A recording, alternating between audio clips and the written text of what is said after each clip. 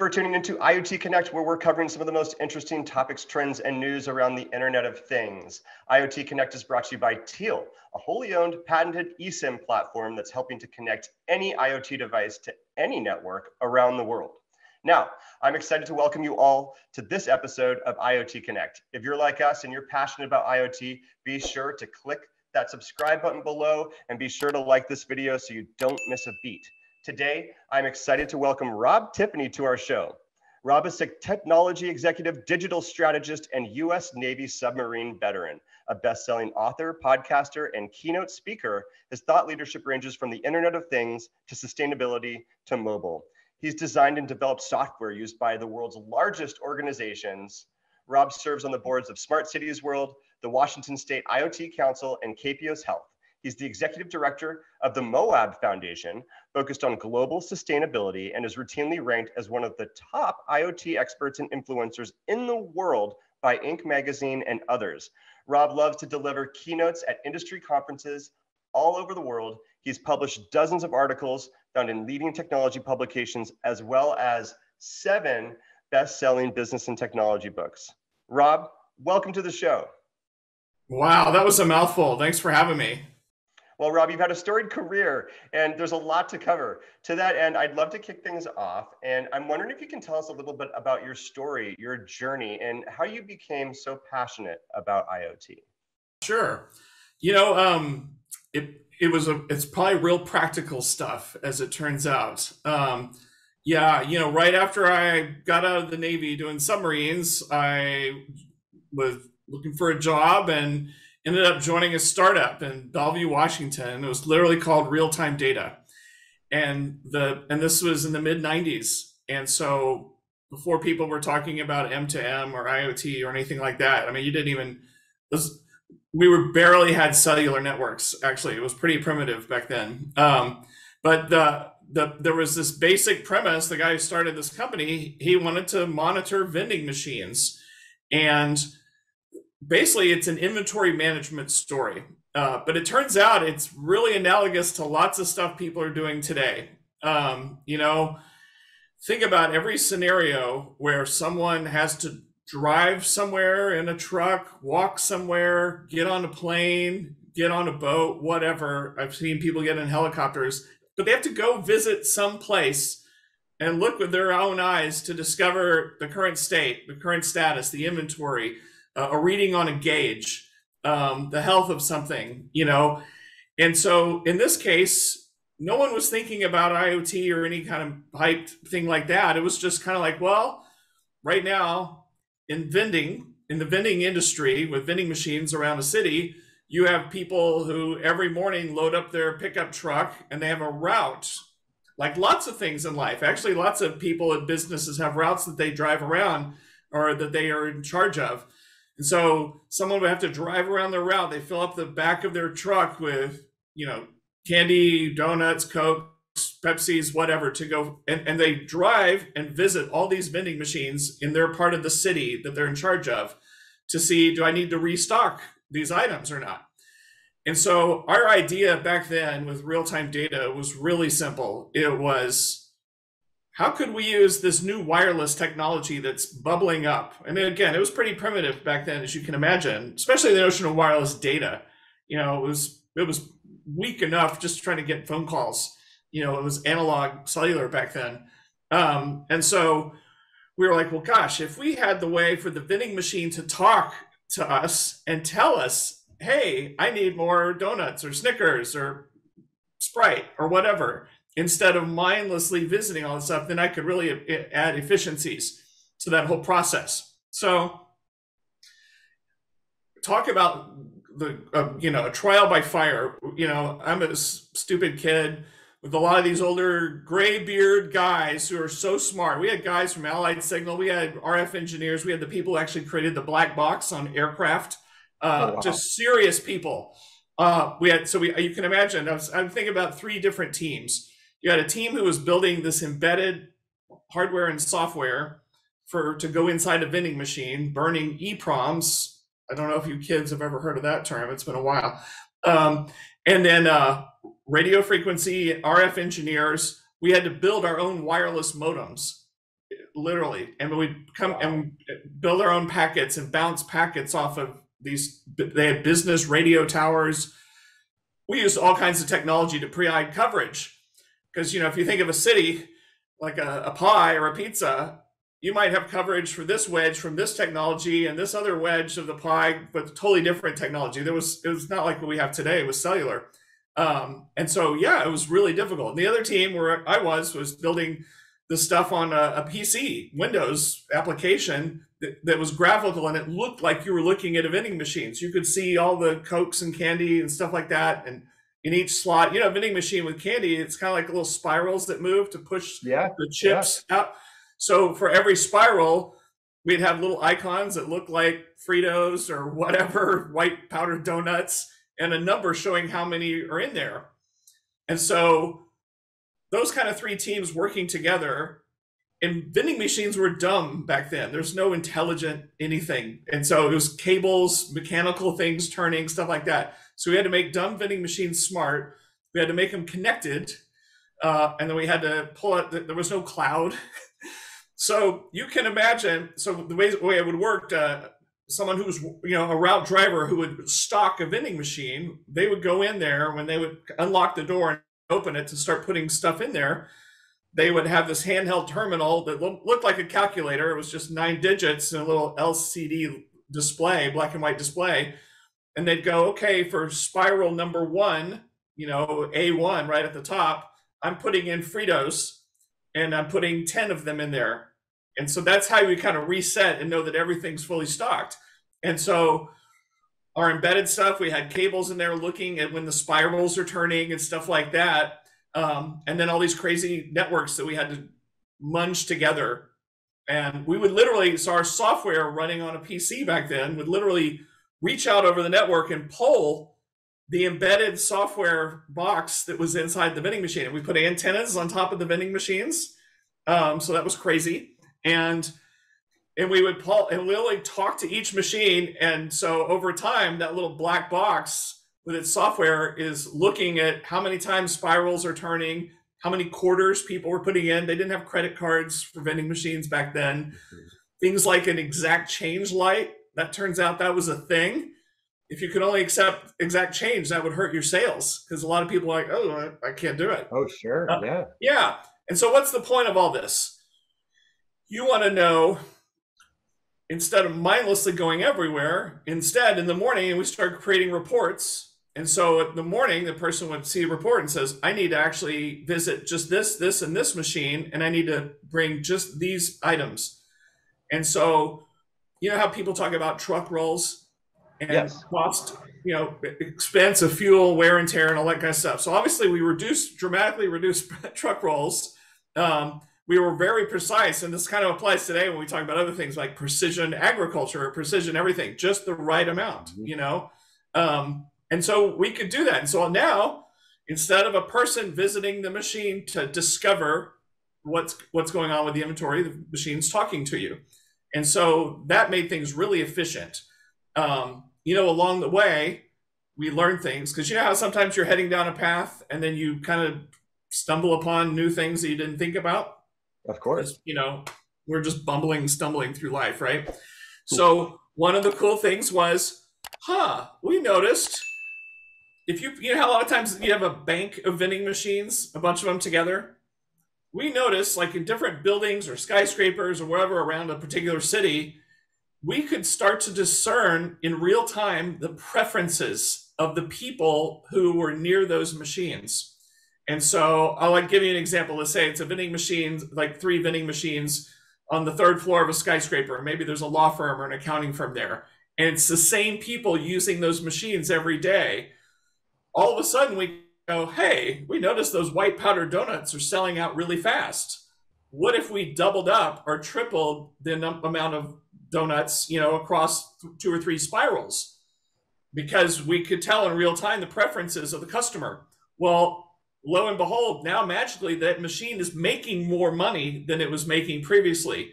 So we're already saving them customer money through efficiencies and stuff like that and not wasting time going places. We're more precise on what they need to order for inventory.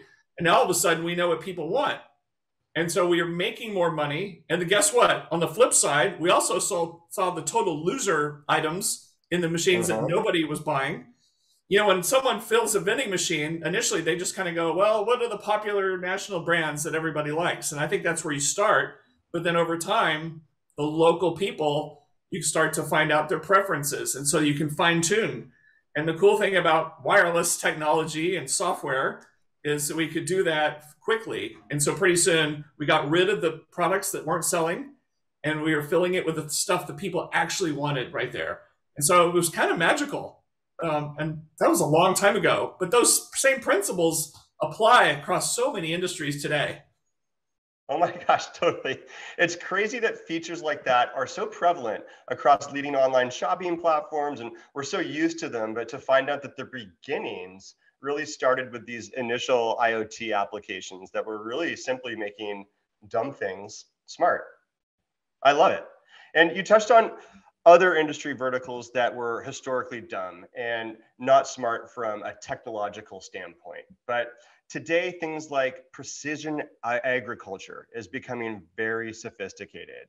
And I know that you've done some work in connected agriculture. Can you talk about some of these solutions that are improving farming and helping to solve some of the challenges that farmers are facing?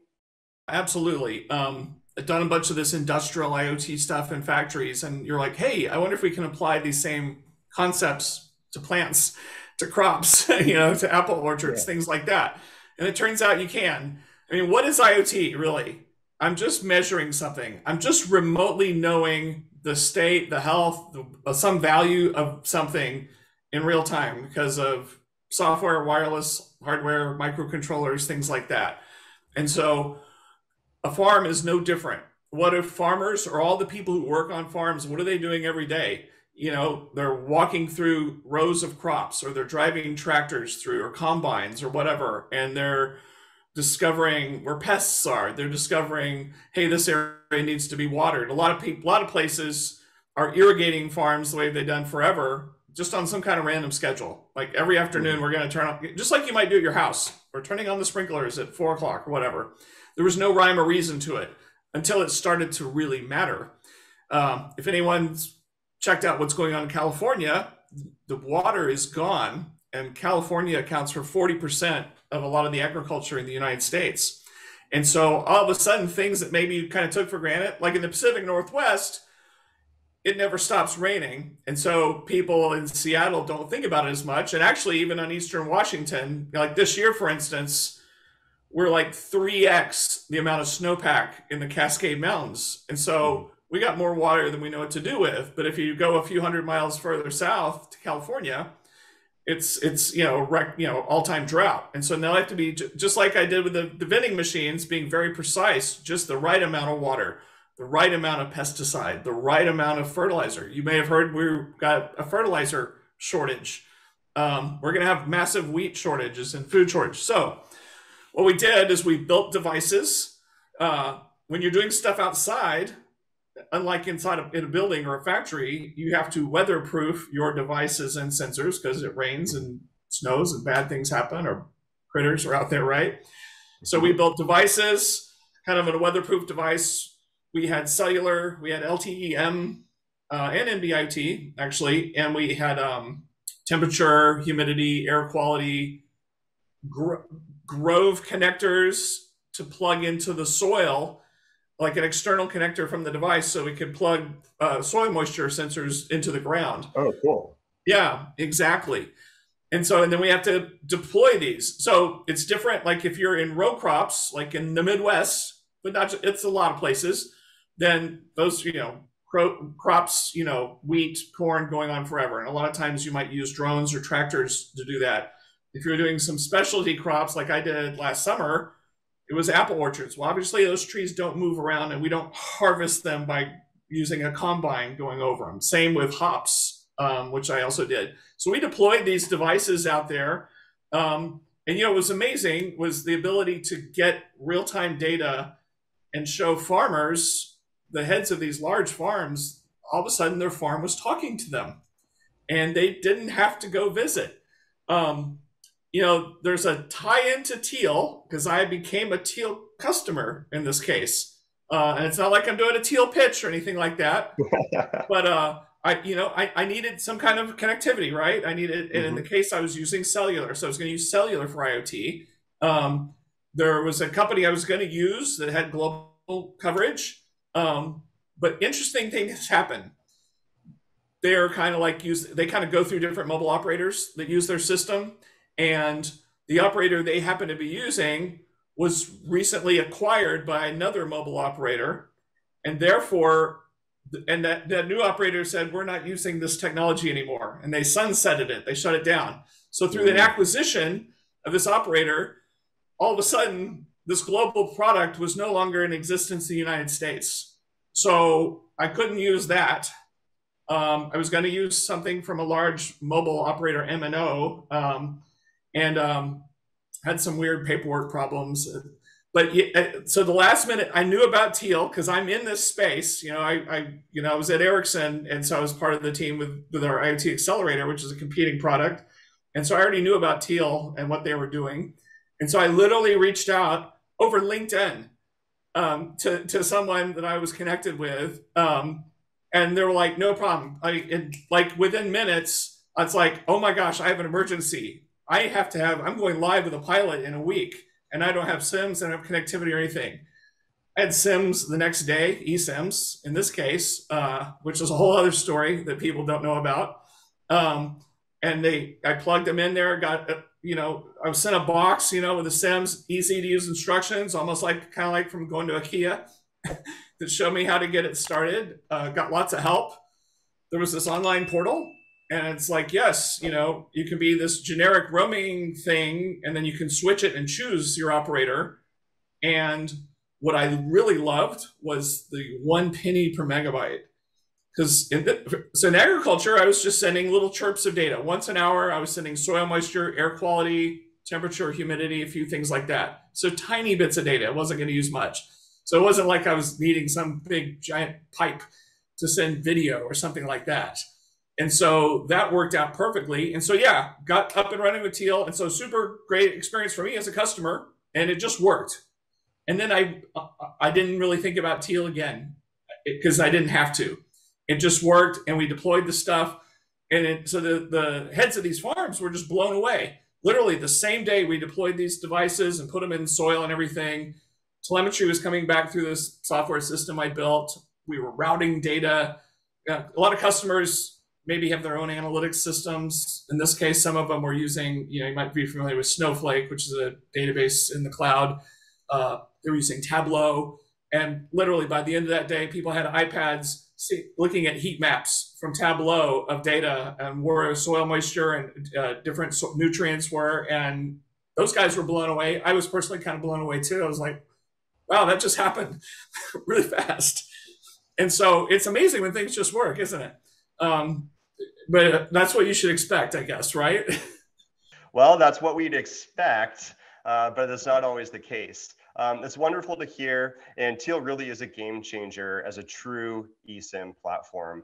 Um, with eSIM being very new, I would love to hear from you from a customer standpoint. Uh, what you perceive as some of the benefits of using eSIM technology over other competing solutions? Absolutely. Um, and this might be new for a lot of people who don't know like the mobile operator space or don't come from the telecom world like like you or I do. Um, so everybody probably has a SIM or they've used a SIM or they might see a SIM like when they bought a smartphone, you know, or a flip phone or something like that. It's a little plastic card and you pop it in there and that's and a SIM is has a one-to-one connection with a particular mobile operator.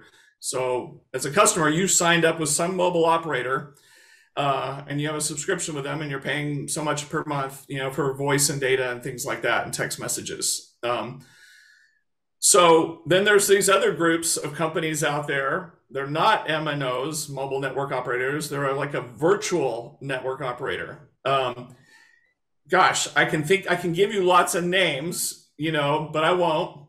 But but they're, they're but they're they're smaller usually, and I'm still talking about smartphones and voice, which people use, and so you might see them in rural areas. They're all over the place. And uh, basically, the gist of it is these giant mobile operators. It turns out they may have extra excess data capacity or stuff like that, and they can do sell that off at wholesale rates. And so, and they might use these mobile virtual network operators who kind of piggyback on their network to actually help them go after maybe different segment market segments than they go for. Maybe you're a mobile operator and you're going after some high end segment for iPhones and Galaxy devices, but you still want to make money and sell data to different segments. And so there's mobile, these virtual mobile network operators actually serve a great role because they help fill in those gaps. And so they buy this extra data at wholesale rates from these operators. So a lot of times, if you're with this MVNO thing, and you're getting a lesson here, kids, um, it's usually a one-to-one relationship with a particular operator. They don't tell you. You think you're running on their network, but they're piggybacking on another one.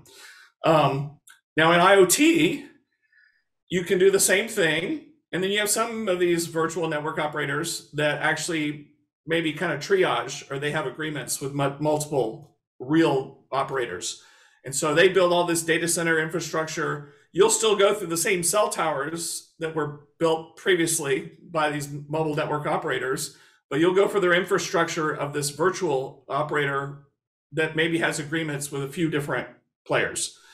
And that what they do is it's roaming typically.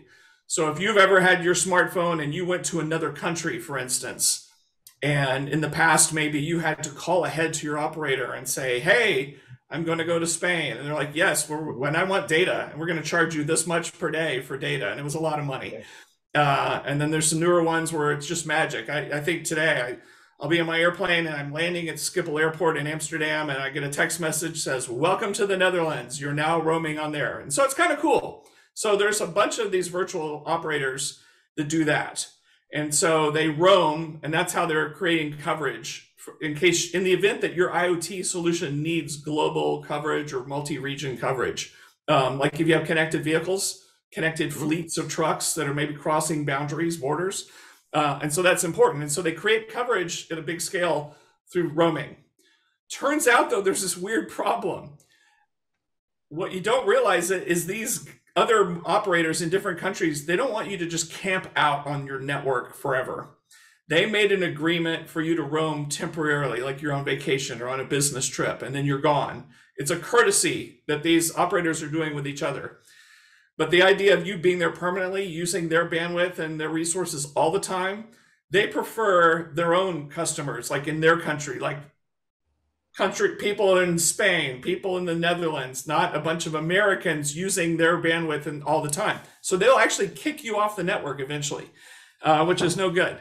Uh, some don't let you roam at all. So what was interesting about Teal, and this is a new thing, this eSIM thing, eSIM's been talked about, and there's lots of, you know how we have these working groups and specs and bodies put together, but it takes a while for the ball to really get rolling. So what's interesting about Teal is it's it's not a big network operator like all the big ones you can think of that you might have a subscription with, but they're also not one of these virtual operators that's roaming around either. Um, it's just like this cloud software a platform uh, you know this you know we all think we all know like software as a service kind of saas type things. All teal is really doing is over the air talking to your this advanced esim and saying i'm going to give you a local credential with this particular mobile operator and all of a sudden you will be it's like you're one of those home local people who actually is subscribing with that operator all the time. And so you're going to get all the love because they that's who they want right? And so what was cool about teal and i remember using the portal when i was doing the agriculture thing i literally could go online and just point and click and say oh i want to be connected to this one. Oh no i want to be that to this and and there's not, and it's not just for fun you know, different operators may have different coverage characteristics or performance or things like that. And so, and you can imagine, you know, if you're in a dense urban area, if you're in rural, uh, they're all different, right? Nobody has complete coverage of the US. It's like a patchwork quilt.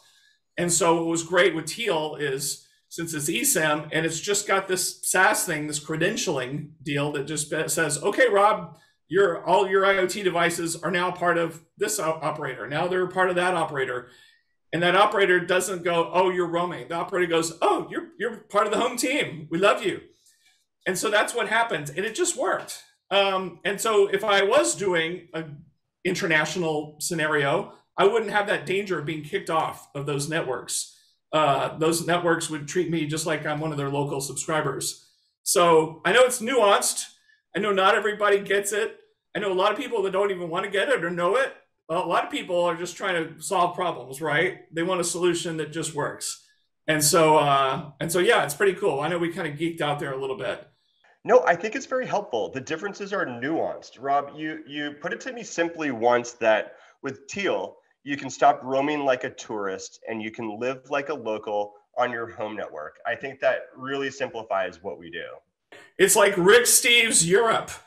I'm going to show you how to live like a local instead of just being a tourist going to all the touristy places. It's always better. exactly. Thanks for that. Uh, you're a wonderful teacher, Rob. And one of the things that I'd be curious about is with you, what are some of the most important IoT innovations that you see on the horizon that get you the most excited? People who know me probably realize I'm really into the digital twins. Um, you know, IoT is made up of so many components, right? There's the there's the hardware, there's sensors, there's embedded software, there's the connectivity that makes it all happen. There's servers, there's storage, there's analytics, because in the end, we're not doing science experiments, even though I think the last decade has been full of IoT science experiments. Um, mm-hmm. Now people are like, I need business results. I need to take actions on insights. Um, one way I have found that's really it's easier for people to get their heads around is this digital twin thing, and all that really is is a it's a digital representation of a physical object or or a process. And so when I can have a digital version of your car, for instance, you know, your car's got four tires, it's got an engine, it's got a gas tank, it's got whatever, all these attributes, or maybe it doesn't have a gas tank, maybe it's electric. Um, and so it has all these attributes about it. And so what you do is you create a kind of a data structure um, when you think about kind of database type stuff. And so you, you, you create a data structure that's digital that looks and mimics the real thing in the real world. Um, and then IoT is the plumbing. So I create a structure that where the digital car looks just like the physical one, but then the physical one is moving it's alive, it's going and wheels are turning and things are happening.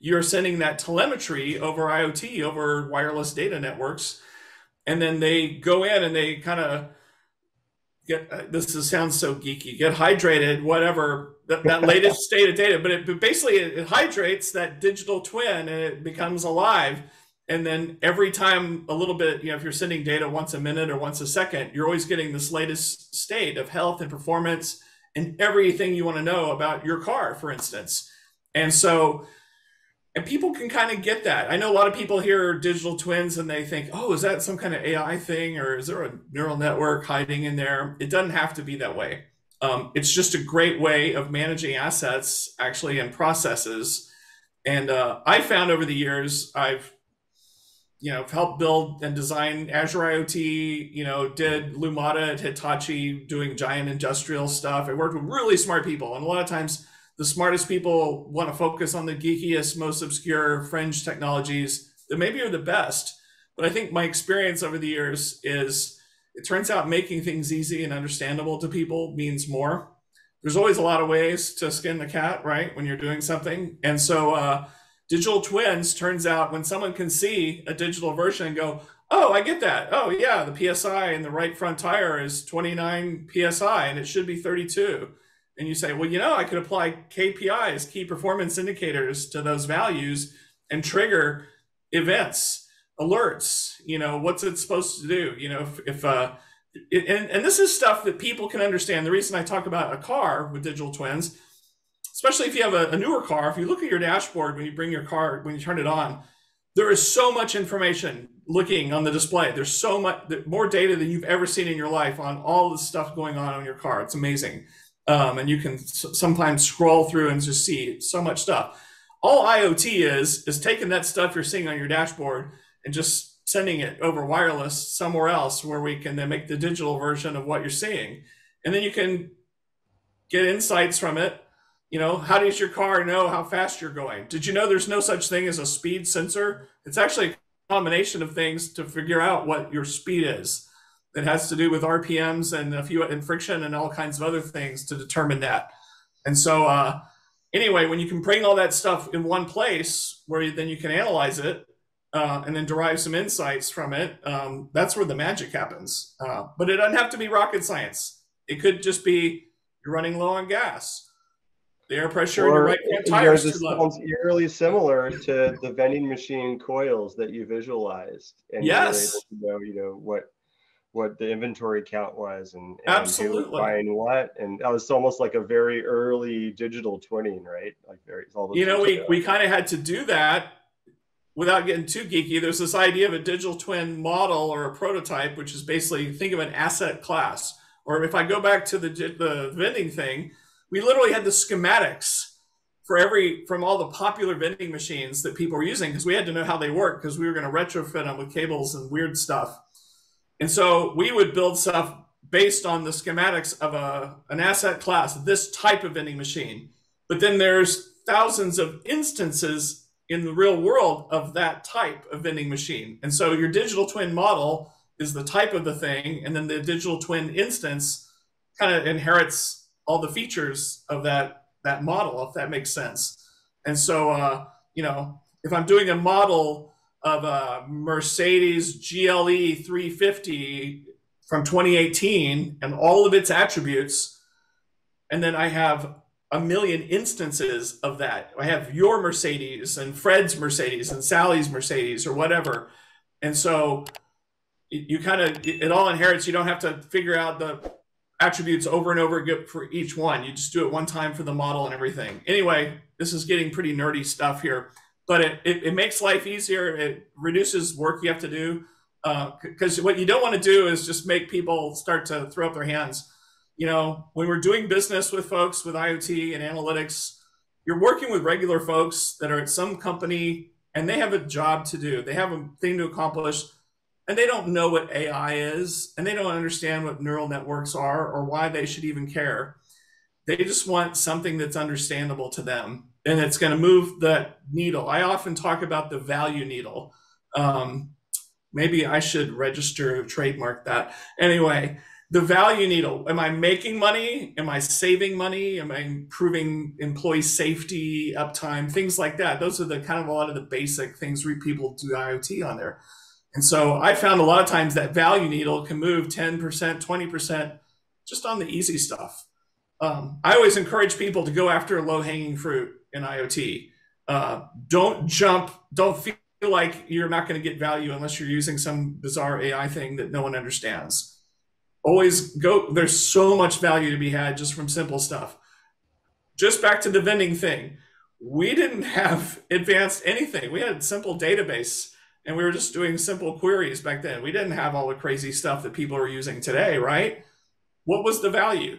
The value was instead of a person visiting a vending machine to find out what I need to do with it, the vending machine just told me wirelessly in real time. That was the value. It saved me money. I didn't need a neural network or AI or robots from the future uh, to do that. That stuff applies today. When yes. I would do executive briefings at Microsoft for Azure IoT, I can't tell you how many people I would do briefings for in like in the oil and gas industry and they go, Well, yeah, I get in my pickup truck and I go out to the oil tank farms in West Texas and I put a big stick in the tank. And that's how I find out how much oil is in there. And I'm like, Really? And when I saw more than one person tell me that, I realized, Oh, wow, I'm not crazy. Maybe the world's not as advanced. A lot of times we all are kind of in our own little echo chamber because we're in the tech industry. It turns out things aren't as sophisticated as you think you are. And so when you say, well, what if I put a little sensor that told you how much oil was in the tank, and through the magic mm-hmm. of cellular, you could just know without sending someone in a pickup truck to go find out and put a stick in it. And it's like, yeah, we'd save so much money. That'd be great. There's the value, you know? So a lot of times, and you know what? Those are things people understand. Every employee you would talk to at a customer's company, they would instantly get that. They go, absolutely. Instead of you, you know, I remember early on, when I was doing stuff um, with Lumada at Hitachi. I remember reading an article, I think it was about Shell Oil doing something in Africa.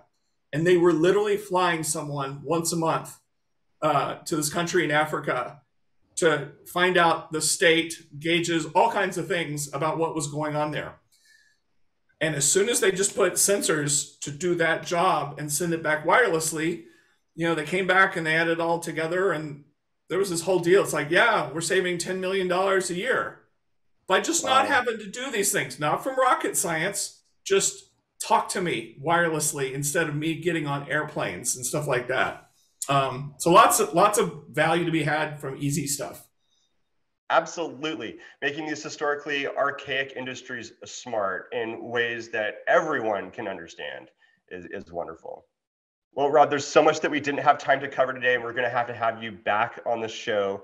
I really appreciate you coming on today. And for all of our listeners out there who want to learn more about you and all of the cool things that you're up to, where can they find out more? Just just find me on LinkedIn. I usually probably overshare on LinkedIn, or or at Rob Tiffany on Twitter uh, is probably another good spot.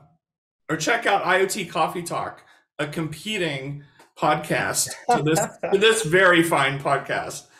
I'm still waiting for our invitation. I actually think you just had our founder on your show, so that's great. absolutely, absolutely easy to find though, for sure. Well, there you have it. If you're like us and you're enthusiastic about IoT, be sure to like this video and click that subscribe button below so you don't miss a beat. Be sure to listen in to future episodes of IoT Connect. And thank you to our listeners for tuning in. And thank you, Rob, for being on the show today. Thanks for having me. This has been great.